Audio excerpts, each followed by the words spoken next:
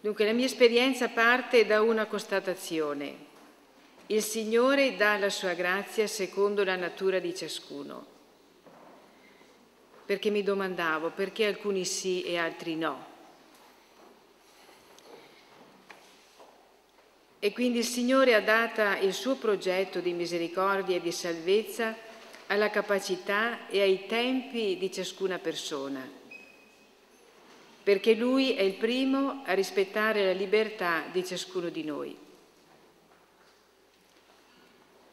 Nella mia vita ho sempre cercato di capire, di rendermi conto di ciò che accadeva e accade dentro e fuori di me. C'è sempre stata questa ricerca. Così un giorno, cercando un relatore per un incontro a livello internazionale, una suora mi suggerì il dottor Marco Guzzi.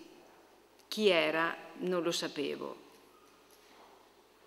Ma mentre ascoltavo la sua conferenza, sentivo che ciò che diceva era proprio quello che cercavo.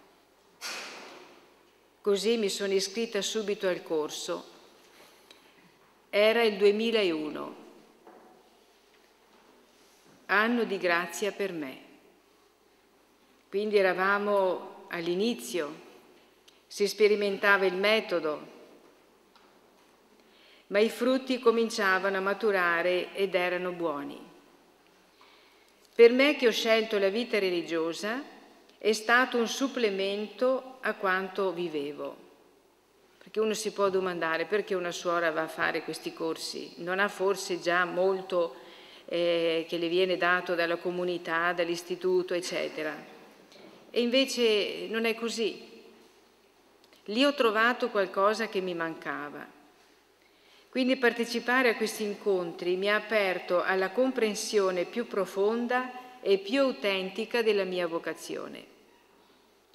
Mi trovavo e tuttora mi trovo con una maggiore disponibilità e capacità a stabilire relazioni interpersonali più vere, a mettermi di fronte alle situazioni con più capacità critica, a prendere le distanze per vedere meglio ciò che sta accadendo.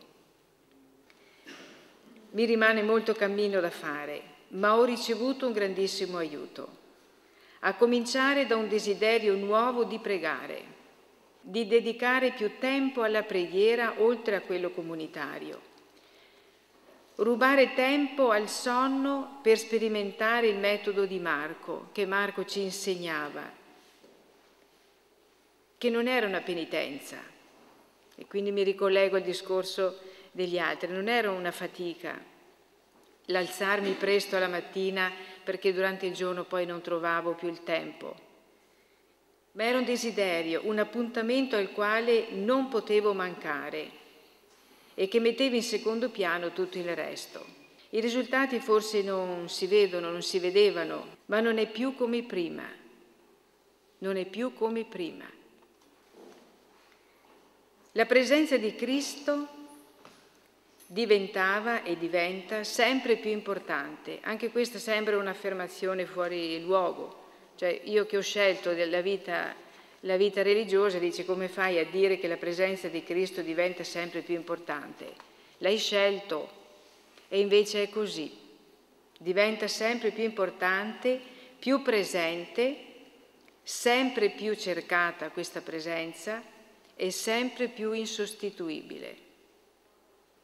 Questo grazie all'approfondimento e alla partecipazione a questi corsi. Anche le relazioni interpersonali hanno avuto un beneficio. Qui il lavoro è stato ed è ancora faticoso.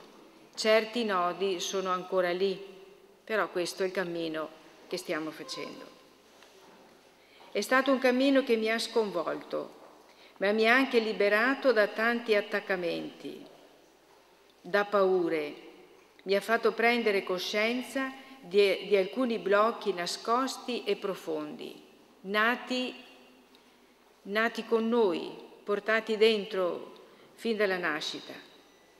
Ce ne sono ancora, sono rimasti più difficili, i più difficili, ma il cammino è stato intrapreso e una, vo- una volta messo mano all'aratro non ci si volta indietro, non si torna indietro. Ringrazio Marco che ha accolto il dono dello Spirito, cioè la missione di aiutare fratelli e sorelle a iniziare o a sostenerli nel cammino di liberazione interiore, di rinnovamento, di darsi pace, di darsi gioia e di darsi speranza. Auguro a tutti coloro che continuano a partecipare ai gruppi e a coloro che inizieranno, glielo auguro ma lo posso anche confermare, che sicuramente troveranno energia, forza e coraggio per trasformarsi e trasformare.